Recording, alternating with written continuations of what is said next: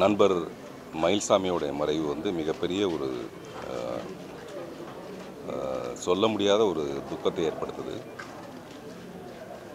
ஒரு நல்ல நடிகனாக இருக்கிறது எப்படி ஒரு நல்ல இயக்குனராக இருக்கிறது எப்படி எல்லாம் மீறி ஒரு நல்ல மனிதனாக இருக்கிறது எப்படிங்கிறத பற்றி மயில்சாமி வந்து ஒரு பாடமாக இருந்திருக்கிறாரு. அதுதான் நான் பார்க்குறேன் உதவி செய்கிறதுக்கு நிறைய பதவி தேவையில்லை பணம் தேவையில்லை.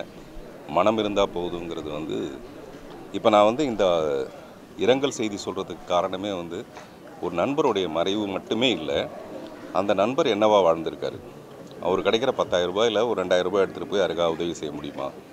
என்கிட்ட வருவார் ஒரு 10000 ரூபாய் கொடுங்க ஒருத்தருக்கு உதவி செய்யணுன்னுவார் அப்புறம் ஜாலியாக ஜெகஜோதியாக வாழ்ந்த ஒரு மனிதன் லைஃப் லாங் அவர் வந்து ரொம்ப சந்தோஷமாக மட்டுமே அவரும் சந்தோஷமாக இருப்பார் மற்றவங்களையும் சந்தோஷமாக வச்சுருப்பார்.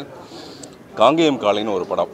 என்னுடைய படம் அது ஆரம்பித்து நிற்கப்பட்ட படம். அந்த படத்தில் வந்து ஒரு உதவி இயக்குனராக என்கிட்ட முதல் அப்போ வந்து மயில்சாமி பிரபலமே கிடையாது. யாருக்குமே தெரியாது மயில்சாமி யாருன்னு. அப்போ நான் வந்து அவரை உதவி இயக்குனராக சேர்த்துக்கிட்டு என் கூட ஒரு முக்கியமான கதாபாத்திரம் முக்கியமான கதாபாத்திரம் அவர் கொடுத்தேன். ஒரு பாதி படத்துக்கு அப்புறம் அந்த படம் நின்று போச்சு. ஆனால் அங்கேருந்து எங்களுடைய நட்பு மட்டும் அப்படியே தொடர்ந்துக்கிட்டே இருந்தது. அந்த நட்பு வந்து அப்படியே அவருடைய பசங்க யுவன்லேருந்து எல்லாரும் கூடவும் இன்னும் சொல்லப்போனால் நான் ரொம்ப செல்லமாக வளர்த்துட்டு இருந்த பாலு சரோங்கிற என்னுடைய ரெண்டு பேர்டு வந்து இந்த வீட்டில் தான் இருக்குது அந்த அளவுக்கு எனக்கு அவர் ரொம்ப நெருக்கமான ஒரு நண்பர். அவரோட மறைவினால் நான் என்ன நினைக்கிறேன்னா இன்னும் நிறைய பேருக்கு அவர் உதவி செஞ்சுட்டே இருப்பார். கிடைச்சதெல்லாம் உதவி செஞ்சுட்டு இருப்பார். அந்த உதவி வந்து இப்போ நின்று போயிடும். அது ஒன்று தான் என்னுடைய மிகப்பெரிய ஒரு வருத்தம். அப்புறம் வாழ்க்கை இப்படி தான் சட்டுன்னு எங்கேயோ ஒரு இடத்துல அது முடிஞ்சு போகுது.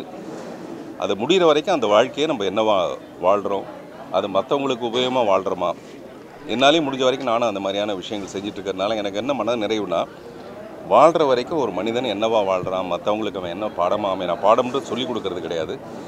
அந்த மாதிரி ஒரு நண்பர் மயில்சாமியோட மறைவு வருத்தத்தை கொடுத்தாலும் அவருடைய ரெண்டு பசங்களும் சினிமாவில் நடிக்கணும்னு ஆசைப்பட்றாங்க. அவங்களுக்கு வாய்ப்பு கொடுக்கறதன் மூலமாக மறுபடியும் அந்த குடும்பம் அவங்களுக்கு வெறும் அஞ்சலி செலுத்துறதை விட நம்மளும் முடிஞ்ச வரைக்கும் அந்த உதவி அந்த குடும்பத்துக்கு செய்யணும்னு நான் ஆசைப்பட்றேன். மயில்சாமிங்கிற ஒரு சாதாரண பேர் இல்லை. ஒரு மனுஷங்களுக்குள்ளேயே இருக்கிற மாணிக்கம்.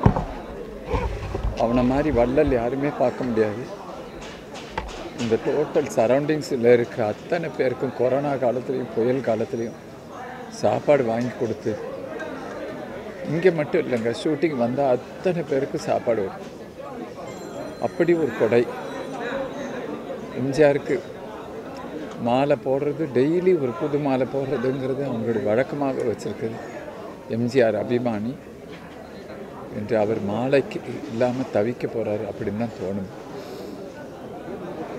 இந்த மாதிரி ஒரு நல்ல மனுஷனை பார்க்கவே முடியாது.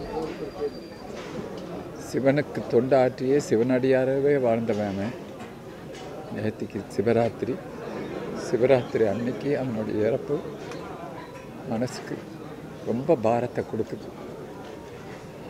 அவனை இழந்து பாட அவங்க குடும்பத்தினருக்கும் திரையுலக நண்பர்களுக்கும் ஆழ்ந்த இரங்கலை தெரிவிச்சுக்கிறேன்.